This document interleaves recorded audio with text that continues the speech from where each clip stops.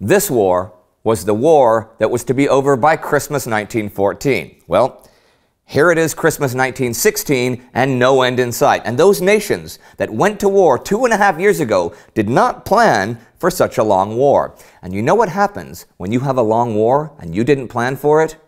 You starve.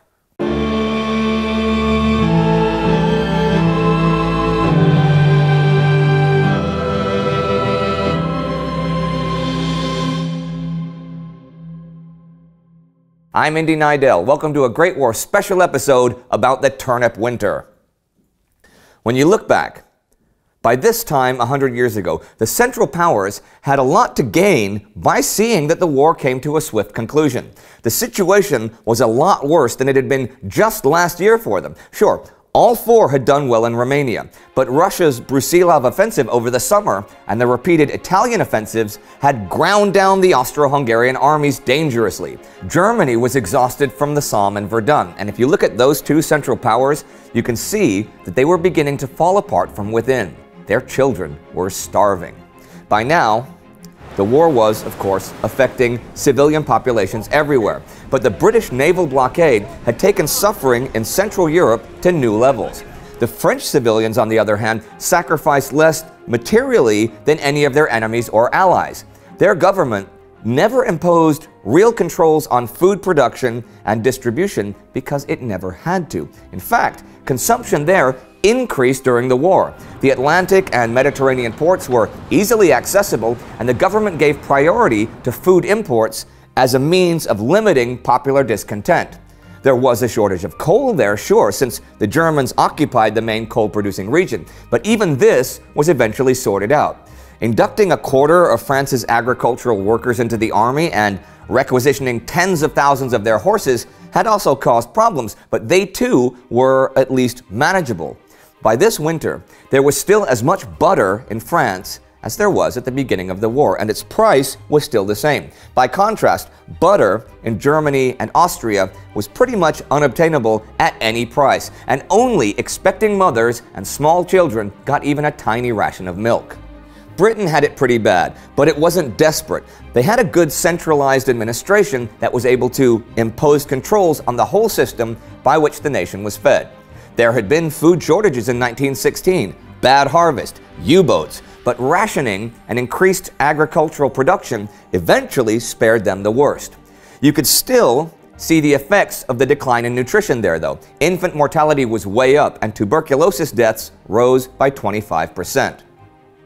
Russia produced more than enough food for its people throughout the war, but in terms of food management, it absolutely failed. Russia had a huge problem getting food to the cities, which were by now crowded with millions of refugees. A big chunk of the railway system was given over to the military, and the rest was in disarray. Food prices in cities increased much faster than wages did. G.J. Meyer says this in A World Undone. The infant mortality rate doubled in Petrograd from 1914 to 1917. And by 1917, women working 10 hour days in factories were also spending 40 hours weekly standing in line to get fuel and food for their children. Riots and strikes began to break out. Even in 1916, troops sent to suppress disturbances refused to do so. By early 1917, the capital had only a few days' supply of grain in reserve and was a tinderbox ready to ignite. But in Germany and Austria, it wasn't just urban centers that were in trouble. There were some problems with bad management, but by this time, there was an absence everywhere of the basic necessities of life because neither empire had done anything to prepare for a long war. They were both basically under a state of siege, right? And had been for two years. And they had already started having food shortages near the beginning of the war.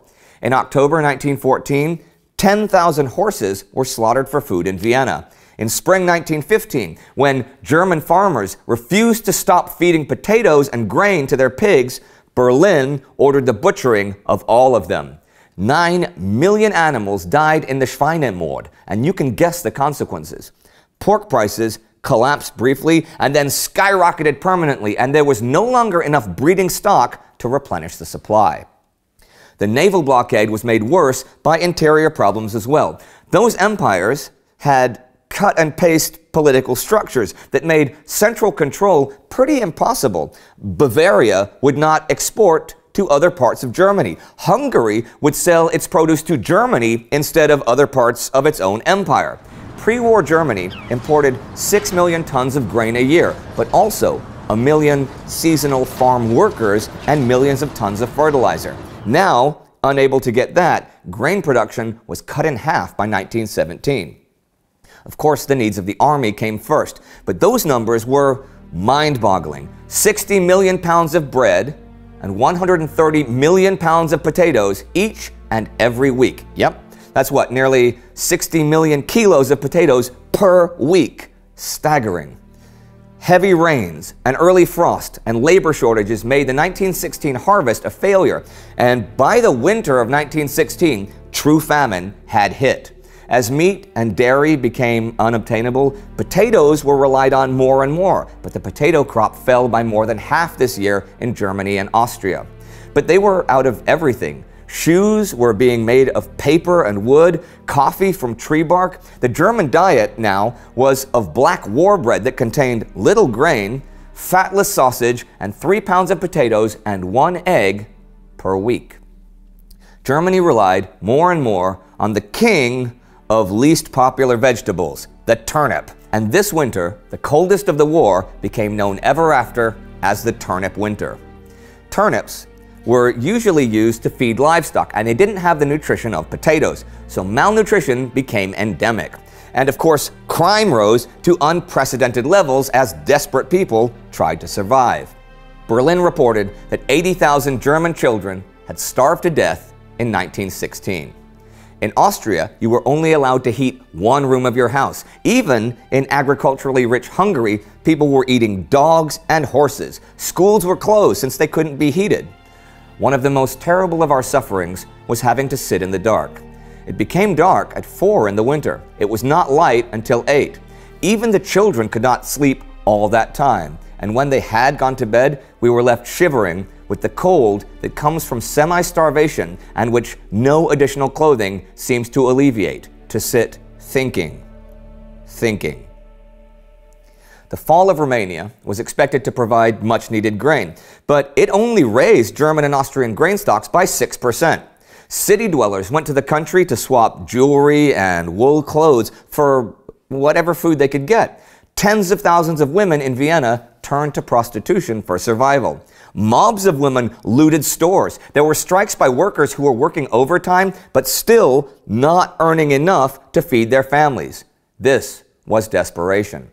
And it was the background to one of the most fateful decisions of the war the decision to reintroduce unrestricted submarine warfare, where every ship is a target.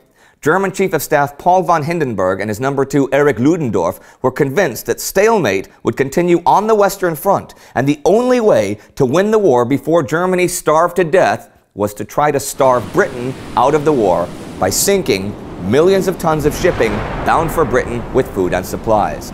German Naval Chief of Staff Henning von Holtzendorff believed this could be accomplished in six months.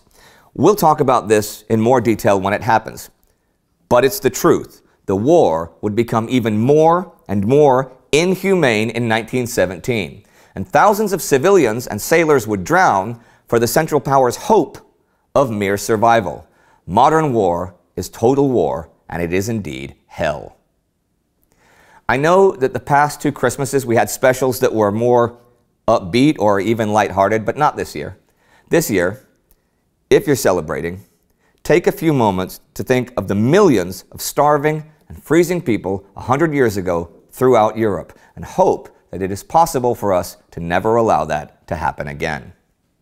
If you want to know more about the staggering numbers of food and supplies the armies needed to survive, you can click here to check out our special World War I in numbers. Don't forget to subscribe.